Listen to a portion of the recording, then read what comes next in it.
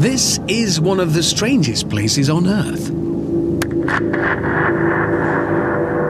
It's the inside of a vast, sophisticated machine,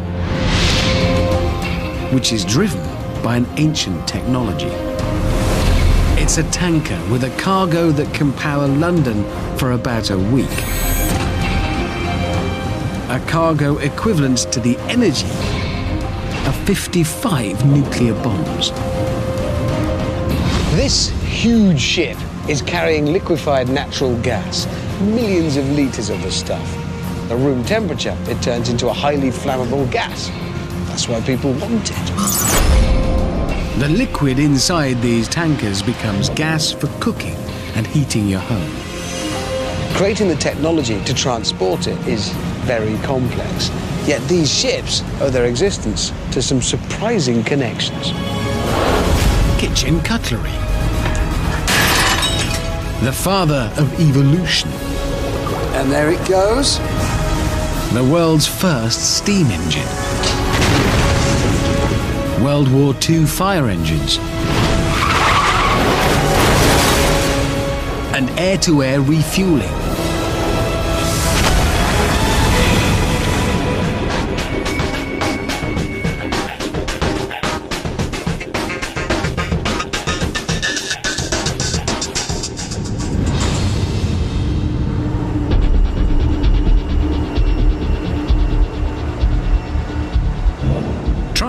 Transporting natural gas around the planet is a big business.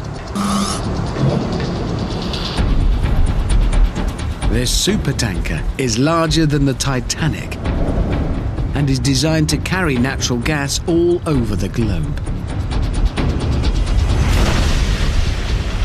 She's a big ship, yeah, so you know everything about her is going to be super scale. But it's only when you get close up do you realise how big. Admittedly, I'm not the tallest chap you'll meet, but it would make even him feel small. The propeller alone is more than five times my height and weighs 48 tons. The whole ship is nearly 300 meters long, about two and a half football pitches, and it takes a lot of looking after. Every time she comes into dry dock like this, she's repainted. She is quite big, so it is quite a lot of paint. 12 tons of it gets applied. I didn't come here simply to feel small. I can do that anywhere. I came here because I want to see how these ships shift huge quantities of gas all around the globe. They have vast tanks, but getting inside them is very tricky. The ships have to be in dry dock, and the tanks have to be completely purged of any trace of their hazardous cargo. This is the inside of one of the tanks. And as far as we know, nobody's ever actually filmed inside one of these before. That seems a shame. Because look at it. All you need is one light, one camera. You can make a sci fi movie.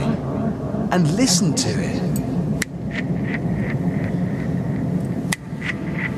That echo is real, analog, not a digital effect. Real sounds bouncing around this cavernous tank. There's room for 34 million litres of liquid gas in here. The equivalent volume of water would allow the average British home to flush the toilet for 1,200 years.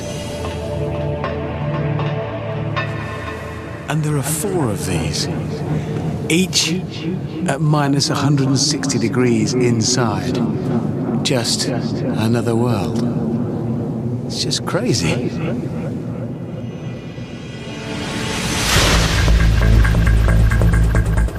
Just like oil, natural gas is a fossil fuel found where ancient organisms decomposed. It can be shifted in pipelines, but they are expensive and impractical for crossing oceans. Instead, engineers had to work out how to transport it by ship. That's a challenge when you remember that natural gas ignites at any air temperature found on Earth. To learn how you transport gas safely, I went to a high security research facility in northern England.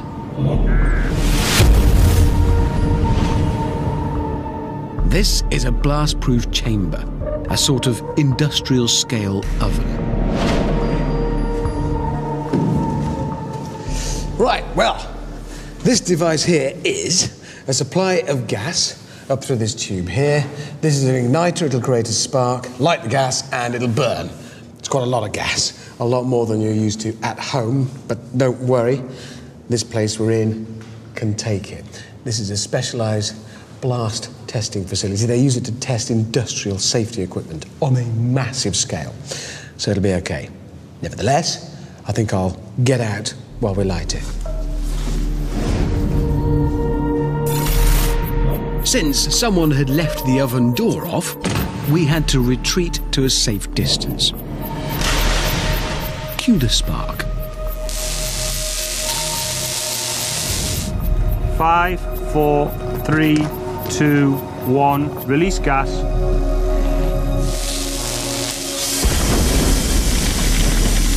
That's just a few litres of gas. Imagine a cargo of many millions of litres that could be ignited by the tiniest of sparks.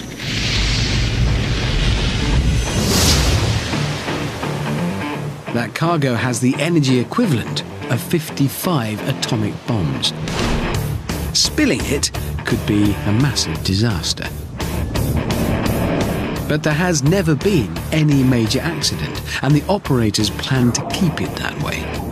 Fortunately, there's a simple solution turn the gas into a liquid. As a liquid, it can't catch fire, and what's more, it takes up much less space. If the cargo were in gas form, the tanker would need to be impossibly big. It would have to be 600 times more voluminous, which would make it 10 times longer than this ship.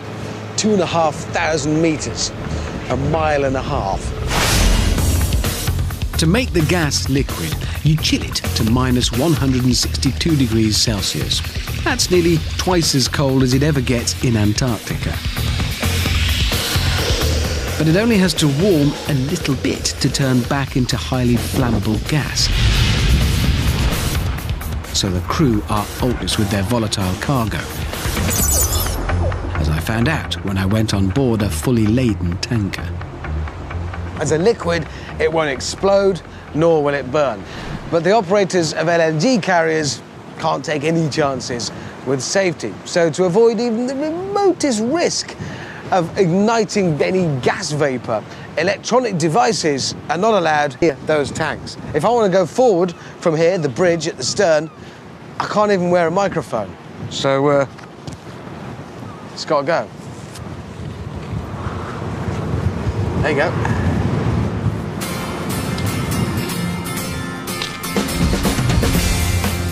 Neither can I take my telephone, my camera, and certainly not a TV crew beyond the bridge. They take no chances with this precious cargo. If you could hear me, I'd be saying that under my feet is a tank exactly the same as the one I climbed inside earlier. It's one of four full of ultra cold liquid. That's an awful lot of natural gas on these ships. Keeping it as super cold liquid is the first and best line of defense. But what if any of the cargo warmed up and turned back into gas? The consequences would be dire. So there is a second line of defense. Normally, the cargo is the other side of these walls. Tens of millions of litres of it. And remember, that's in liquid form. Expand it into gas ready to use, and it's billions of litres. And if any of the liquid made its way and leaked out and turned back into vapour, well, that could be a big problem. But it doesn't, thanks to a pre war mail plane. In the 1930s, Empire flying boats delivered mail and passengers from Britain to Australia in 700 mile hops. They couldn't cross the Atlantic until they were able to take on fuel during flight. Nowadays, we take mid-air refueling for granted. But aviation fuel, just like natural gas, is highly flammable. A single spark when the refueling pipe makes contact and, well, it's kaboom. Bingo. What aviators needed was something to stop an explosion if there was a spark. What they needed, in fact, was noxious air. That's the name Daniel Rutherford gave nitrogen when he first isolated it in 1772. There might be lots of nitrogen around in the atmosphere, and there is a lot, but in its pure state, we can't breathe it. Sadly, it took a dead mouse in the container of the stuff to make that particular scientific advance. But the point here is nitrogen is an inert gas. It doesn't react readily with anything at all. And more importantly, it stops fuel combining with oxygen if there's a spark. Ignition is impossible if there's enough nitrogen around. Fires can't breathe nitrogen either. And that's a claim that just needs to be put to the test. So, time to fire up the industrial oven once again. This time with nitrogen inside it. First, it's sealed to contain the toxic gas safely.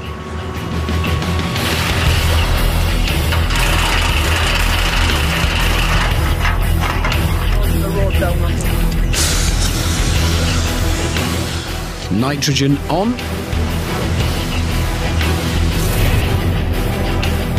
I get to watch from inside a special canopy to the side.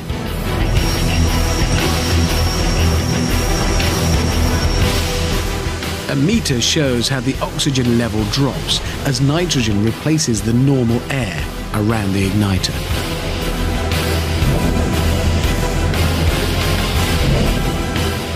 Remember, the theory is that gas won't burn unless there's enough oxygen present.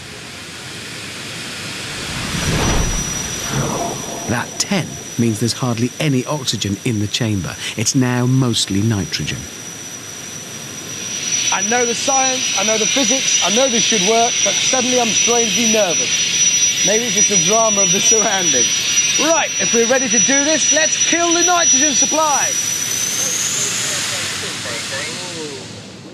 Okay, let's have the spark on then, please. This is the igniter, no gas in there yet, remember. So very soon we'll see the sparks at the top of the funnel. Let's have a look. There they go, that's the spark.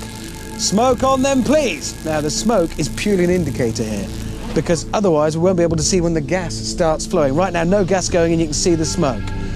As soon as the gas starts, it'll pull the smoke up through that funnel. The chamber is full of nitrogen. The spark is firing. We can have the gas on then. And at that point, the only thing stopping ignition has to be the nitrogen. There goes the gas. Look at it, see where the smoke's coming out the top. That's been pulled through by the gas. That's the same gas we saw burning earlier. And yet with the nitrogen in there, look at that. Nothing. Do you know what? I find that strangely comforting. Science tells you it should work, but there it is working. That. Gas charging in there. The nitrogen quashing it. It can't ignite. It can't burn. Nitrogen also protects gas tankers and mid-air refueling. A quick squirt of nitrogen down refueling pipes removes any risk of explosion. Thanks to nitrogen, an Empire flying boat made its first transatlantic flight back in 1938. On gas tankers, the potentially poisonous nitrogen is safely sealed inside the gas tank insulation. This thin layer of aluminium, almost foil, is the outermost skin. But obviously, if I were to poke my finger through it, it wouldn't go straight into a tank full of tens of millions of litres of liquefied natural gas. On the other side of the aluminium, there's a layer of insulation that's critically to keep the temperature low. Then there's the aluminium tank itself. But that layer of insulation isn't just about temperature, it's porous and it's been steeped in nitrogen. So if there is a problem in the tank, nothing can burn, there's no oxygen. It's inert. In case of a leak, nitrogen stops the volatile cargo reacting with oxygen, and the insulation keeps it in liquid form. The gas is chilled on shore, and the liquid is then piped onto the tanker. But these super cold temperatures pose big engineering challenges. You can't just use standard steel pipes to do the job moving the ultra cold liquid around the place, off the ship and around the ship on pipes like these, presented a whole new set of problems that could only be resolved by recourse to the engineering might of this, and of this, and even of this. But no, not actual cutlery, obviously. That'd take hours. No, what it's made of. Stainless steel. A hundred years ago, cutlery was made of other metals, silver, say, or plain steel for everyday tableware. But steel rusts, off putting at dinner, and like many materials, it changes completely when you put it in the deep, deep freeze. Subantarctic temperatures are a game changer. Suddenly, strong things that you thought you could rely on, like metal, behave differently when you put them in the deep, deep freeze. It's all about ductile to brittle transition temperatures, which is how the properties of things change with temperature. An example bread. At room temperature, slice of bread is bendy, flexible, ductile in the jargon. Take the same piece, freeze it, it's harder, but brittle. Wouldn't it be terrible if steel behaved the same way? It does. Jackie Butterfield, a materials specialist at Sol, introduced me to a medieval torture device. This is the sort of equipment that we'd use to test the toughness of a metal. Right, can I help? Absolutely. Oh, good. What are they? First thing you can do is lift this weight up and we'll lock it in position. Right, thank you. Okay, I always get the nice jobs. Right, so just swing this back, yeah? Yeah. Right, it's got a, got a lot of weight. Just for the record, I'm not being a complete weakling. It is actually quite heavy. Well, 10 kilograms. So it's a fitness program. It is, absolutely. Okay. Right, so that's the weight is primed. Yeah, so what this is going to do, this weight has potential energy. So that's a measured dose of energy that we can apply to the sample down there. It's the same each time because the weight is the same. Step forward, victim number one. A length of standard steel tube, just like a scaffolding pole. Triggering test. So this is going to return a specific amount of potential energy transferred into kinetic energy that will be absorbed or not by the sample. Okay, here we go. Three, two, one. It's um. It's not even dented it. Despite the full force of the weight slamming into it, at air temperature, the bog standard carbon steel remained undamaged, whilst the energy ricocheted through the frame around it. So this sample has survived then. Absolutely. What are we doing here? Right, what we need to do now is test some of the carbon steel at the cryogenic temperatures with the liquid nitrogen. So this is where we introduce our tricky subantarctic temperatures. Absolutely. Cue liquid nitrogen, minus 195 degrees Celsius. This will give the steel the same kind of thermal shock as the chilled liquid natural gas going into the tanker.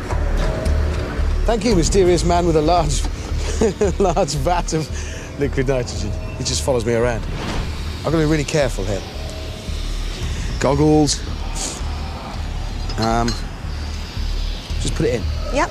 So, the liquid nitrogen is going to be removing the heat from the steel. For how long do we have to leave that? Just for about 10 seconds, it should get down to the uh, to the right temperature. In 10 seconds, Yeah. that liquid nitrogen will have removed that much heat energy from the steel. Yes, it That will. quickly. No wonder you have to be careful not to spill it on yourself. Right, coming through. So the liquid nitrogen has dramatically lowered the temperature of the steel, just as the gas cargo would do as it's piped on board the ship. Right, if we're ready, three, two, one.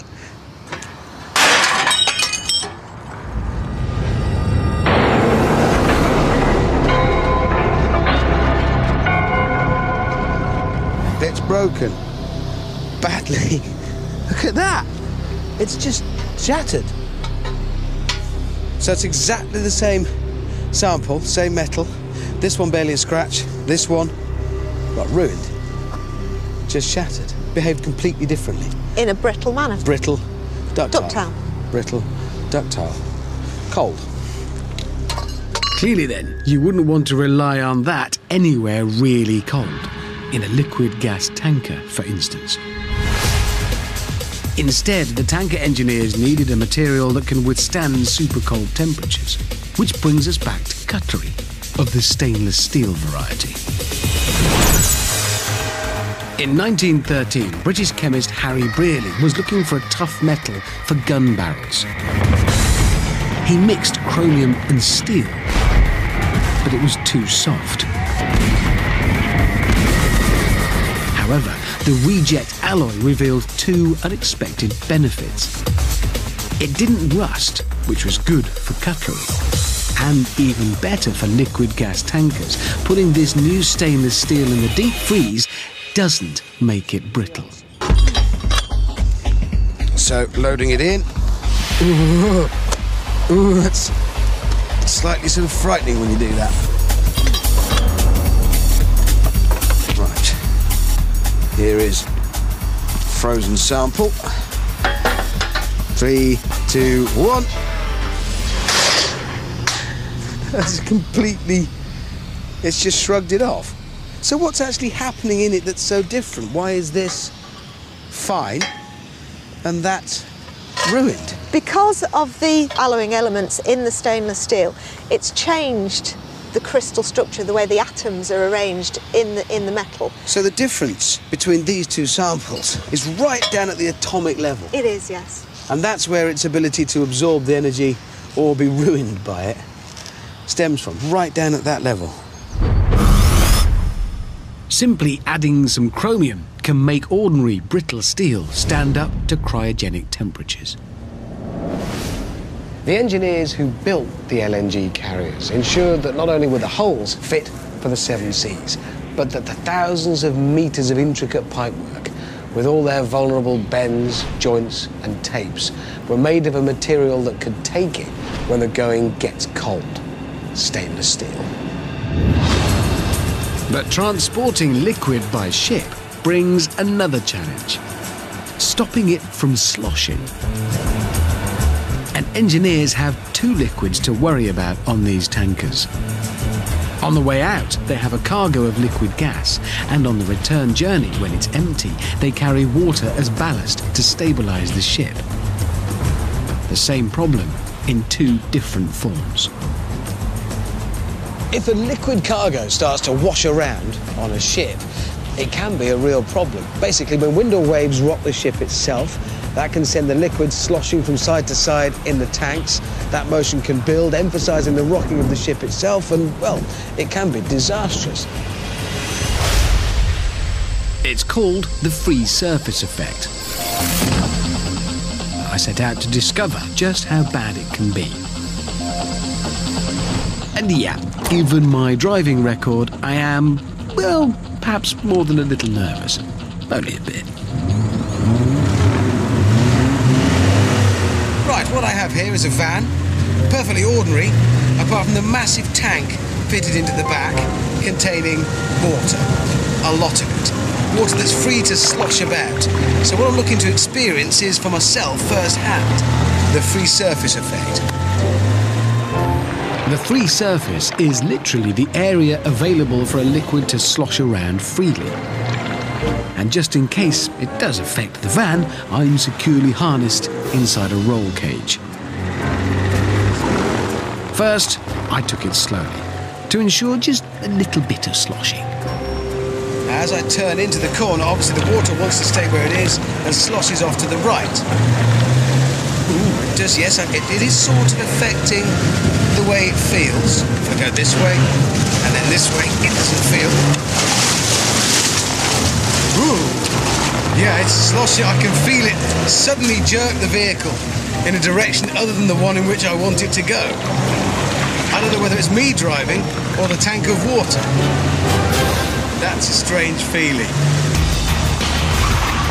Time to step on it and imagine our ship and its liquid cargo rolling through stormy seas. Well, step on it as much as I can in a van. A lot of water going. It's very unpleasant.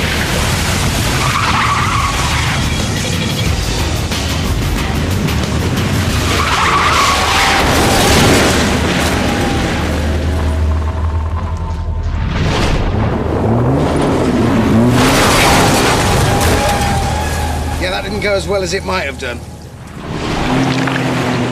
As I corner, the momentum of the slosh capsizes my little van.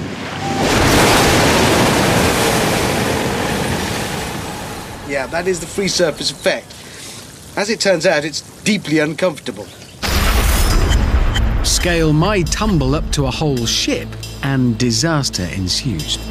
In 1987, the free surface effect capsized the Herald of Free Enterprise ferry when water gushed in through doors that had accidentally remained open, and almost 200 people died.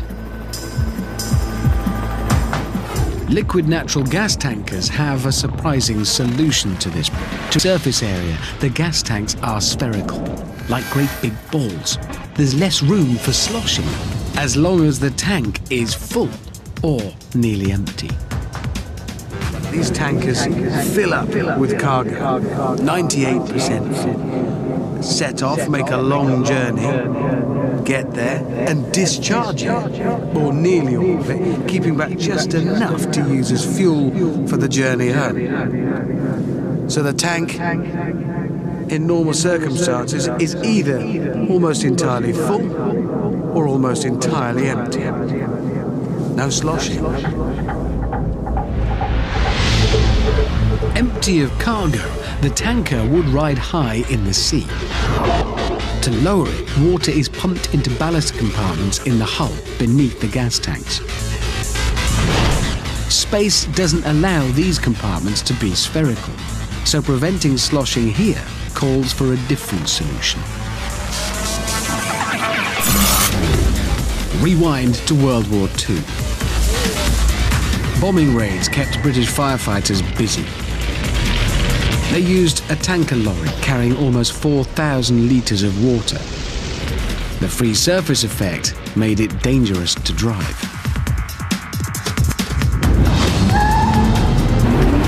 By contrast, modern fire engines hurtle around without overturning. And that is thanks to baffles. Not as in confusion, but load dividers. These are physical barriers, first introduced in the 1880s to stop oil tankers capsizing. Obviously, what led to my slight incident there was the free surface effect, allowing the water to slosh from side to side, and it brought the whole van over. So the key ones here in my baffles are these longitudinal ones that stop the water going from side to side. Apparently, this works. Find out.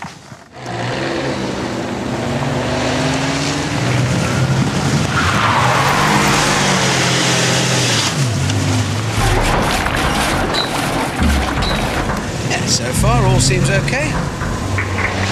And just as they keep the van stable, baffles also protect tankers from capsizing. Dividers in those ballast compartments under the gas tanks stop the water from sloshing around. No free surface effect. Surprisingly, they don't use baffles in the gas tanks. One reason is because friction could heat up the cargo, turning it back into gas. And you wouldn't want that. Empty or full, these ships are stable. But propelling a full tanker is more than a little challenging. Fully laden, this tanker weighs 113,000 tons. Once underway, it takes an hour to bring it to a complete standstill. But how do you get it going in the first place? You might expect a modern vessel to be driven by a complicated computer system with some very fancy mechanisms. Well, you'd be right about the computers, but the mechanisms are a different matter. At the heart of this vast tanker, there is, not surprisingly, a vast engine. It's immensely powerful, making 30,000 horsepower, in fact, to drive the ship across the seas round the world. It's very clever. It's very high tech. But inside, it's based on a principle that was first used hundreds of years ago. Tens of hundreds, in fact. Meet the 2,000 year old Aeolipile, or as it's more commonly known, Hero's engine, after the Greek scientist who invented it. Here's how it works. In the base here is a reservoir of water. What I'm going to do is heat that water up, thus. When you heat the water, it turns to steam. This bit goes on top, so the steam rises up here. And now, the only way out for the steam is through tiny, tiny holes in the ends of these nozzles here. Then it all gets a bit Newtonian because when the steam comes out that way, it exerts an equal and opposite reaction, a push that way, and sets the top spinning.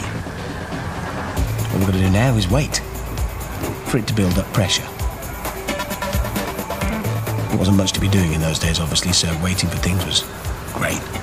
Do some philosophy while we wait, perhaps.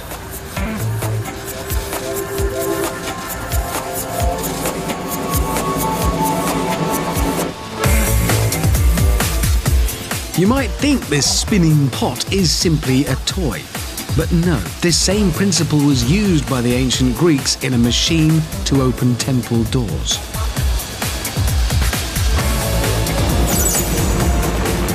Fast forward a couple of thousand years and steam transforms the world, powering industry and transport. And then steam engines went the way of top hats, and now we think of them as yesterday's machines.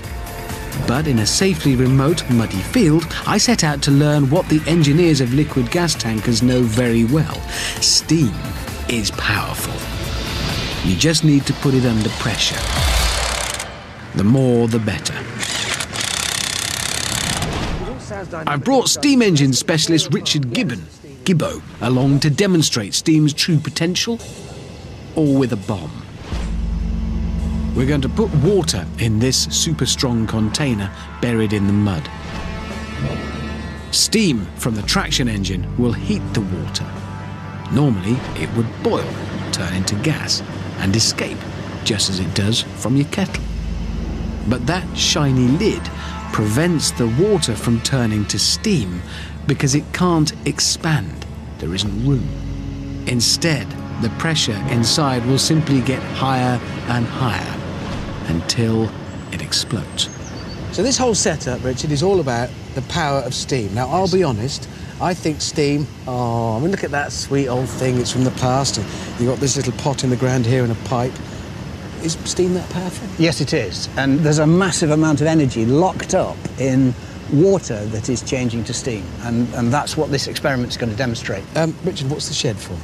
Uh, the shed's just to demonstrate that steam has a lot of force, power, energy. So you're going to break this shed, I'm guessing? Hope so. Even well above its normal boiling point, the water won't turn to steam until the pressure is released when the lid bursts off. Then it will expand instantaneously, creating an explosion. First, though, the sacrificial shed. Nobody walk on the big disc. How many crack engineers does it take to move a garden shed? Quite a lot, it seems. Then, even then, they managed to break it. I don't know, has anybody seen a steam bomb? Well, we've never done this before. It's new. It's going well, this. With the soon-to-be X-shed in place, we fired up the boilers and Richard opened the valve to pump steam into our underground kettle. Slightly lower. Our steam bomb is ticking, and now all we can do is wait. As the metal kettle gets hotter, you can see the puddles around it boil and turn into steam. But the water inside, although it's well above boiling point, can't turn into steam until the lid blows off. Okay. It's moving. Yes, it's moving. Pressure gauge needle slowly ticked up. Gibbo expected it to blow at around 5.5 bar, which is five and a half times atmospheric pressure.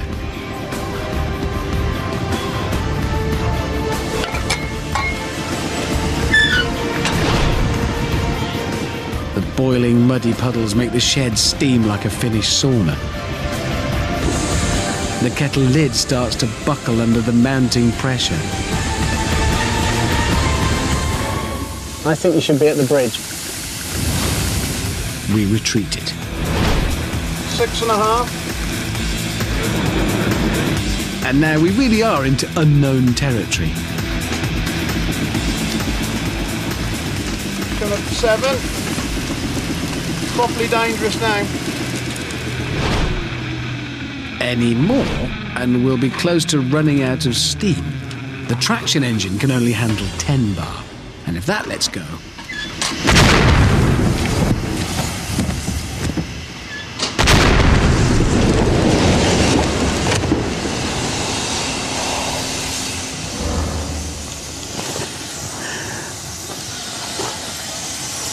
That went. Brilliant. What did that reach? Seven and a half ah, bar. That's- So, and the shed is no more.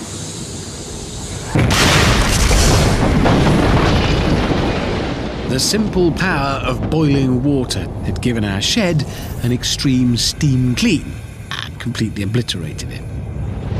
The vessel itself was fine, while the lid had been blown off. There's the discs. Yeah. And you can't really see, but the vessel is empty and dry. Every single bit of water turned Yes. instantly to steam and therefore expanded massively.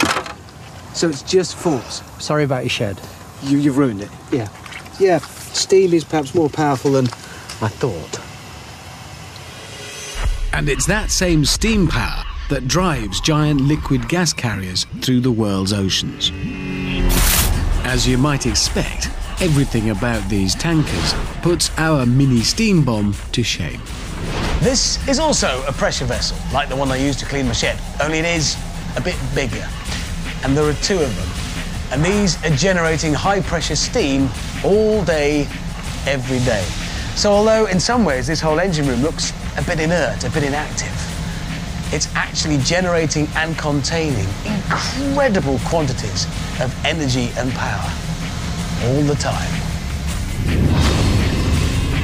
Compared to 140 degrees in our pressure kettle in the shed, the steam here is at 510 degrees, and the pressure is eight times higher. Mark Hodgson manages a liquid gas tanker fleet. He puts the power produced by those two massive containers into perspective. They're just boilers making steam. And uh, together they produce 110 tons an hour. That is equivalent to about an Olympic sized swimming pool is processed by these units every day. And that steam pressure and temperature is delivered downstairs to the turbine. All right, so steam made here in big boilers. Steam goes downstairs to the turbine, and this is where Hero's engine comes in. So, the same principle that turned Hero's engine powers these monster tankers. It turns the propeller. It also provides all of the electricity for every single appliance on board, right down to the crew's TV. On these ships, the secret of harnessing power from steam lies in their turbines. Mark shows me the amazingly simple machine that generates the ship's electricity. Its lid was off, and you could see the hundreds of turbine blades that the steam physically turns. Okay, so steam comes in that end, Yes. and then what? As the steam is injected at each stage, this is where you get the rotational forces applied to the rotor itself. So this is where it starts to turn the whole thing. So there's an immense amount of force going through here, which rather explains the enormous stud bolts here, because the pressure contained within this when it's up and running is huge. It's a large casing, has to contain 60 bar steam. There is such a thing as a beautiful simplicity, and this, this incredibly clever device has one moving part. The engine that drives this entire ship has one moving part. This, turned by steam. You wouldn't want to catch your tie in it, would you? Not really. This turbine is powerful, but the one that drives the ship delivers seven and a half times more power. The steam made in the boilers drives the turbine over there behind me. That comes through to the gearbox, and from the gearbox is transferred to the propeller shaft there. And then out there at the stern of the ship, the propeller shaft turns the propeller itself. At that point, it bites into the water and shoves forward with incredible force. These tankers are designed to be super efficient. They cannibalize their own cargo to produce steam. And for the 25 tons of water they consume every day, they turn to the surrounding ocean. But salt water is horribly corrosive, and the crew just refuse to drink it, softies.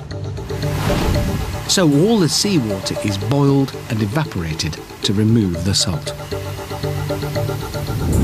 And once again, it's steam that does the work.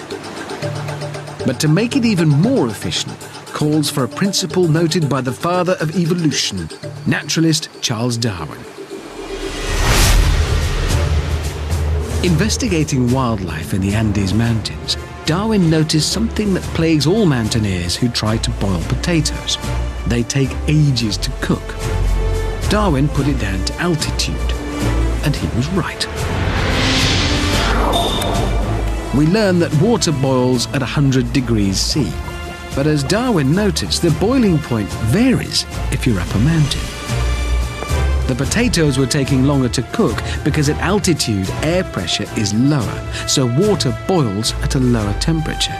The boiling water just wasn't hot, and you can't cook potatoes in cold water. You can even boil water without heating it at all if you reduce atmospheric pressure enough. Right, switch the pump on. That is sucking the air out of there. That's lowering the pressure. This is to prove that water will boil at a lower temperature at lower pressure. So, my marshmallow man is to prove. See, that's a vacuum in there. As you can see, marshmallows expand in low pressure. Useful to know. Yeah, it's, it's grisly, sorry. But the point here is not to prove what happens to marshmallow men in low pressure, albeit quite funny. It's what happens to water. Actually, this is just like taking it up to high altitude where the pressure's lower. But obviously, this is easier. In fact, the pressure in the jar is the equivalent of being at 85,000 feet, almost three times the height of Mount Everest. I think I can see some bubbles at the bottom. Remember, I'm introducing no heat here. It's just a room temperature, and this room is at a very low temperature. Oh dear. And there it goes. Now, it's not just splashing in of it, that water is boiling. And that's not because I've introduced any more heat to it, that's just because I've lowered the pressure. Right, I shall now prove that it really is just at room temperature. Air flooding back in, pressure coming back up. Sorry, Marshmallow Man. Bad day. Point B, room temperature. In fact, really very cold, but boiling away happily. I mean, you wouldn't want to make a cup of tea with it, but point, I think, is proved. So, boiling doesn't mean water reaches 100 degrees. It simply means it turns from liquid to gas, which it does at different temperatures according to pressure. And on this ship, just as I did in my vacuum flask, they boil water at a low temperature by reducing the pressure. Once again, they harness steam. But they reverse the high pressure process. When you make water expand quickly into steam. You make low pressure by going back the other way, condensing steam rapidly into water.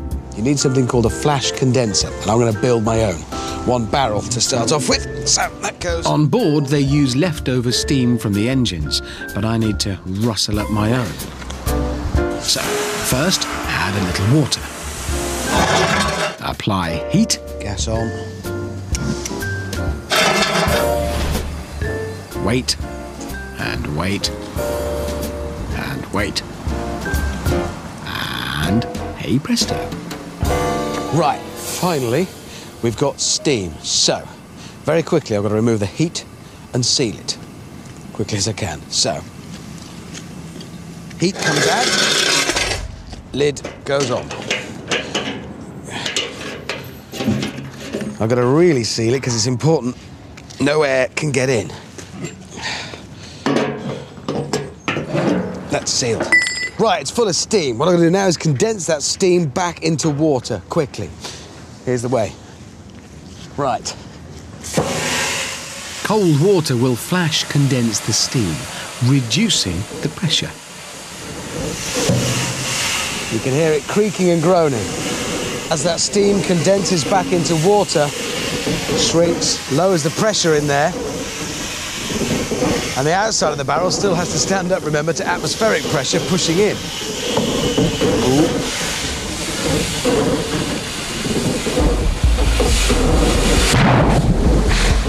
Yep. That's what happens when you lower the pressure inside. There was no way for air to get in to build the pressure up again. Atmospheric pressure was too much, and bang, it collapsed. Liquid gas instantly turn steam back to water using flash condensation. And that creates a low pressure area, like my vacuum jar, in which they boil seawater at just 50 degrees C. They don't bother with the marshmallows. That was just my idea. Thanks to a principle noted by the father of evolution, gas tankers save a huge amount of energy and energy is the precious cargo these ships deliver. This is not some fuel wasting monster carrying a ticking bomb. This giant ship is a smart and self sufficient recycling plant. It takes all the water it needs from the ocean. It generates its own electricity and its own cargo powers it day and night around the globe. You could say these ships are like huge self propelled gas bottles. Well, you could. But the fact is, they are remarkable vessels using extraordinary technology to keep a potentially hazardous cargo safe and very cold. And it was all made possible by stainless steel cutlery, a problem with the fire truck, an ancient method for opening tomb doors, Charles Darwin's potatoes, and a pre-war mail plane.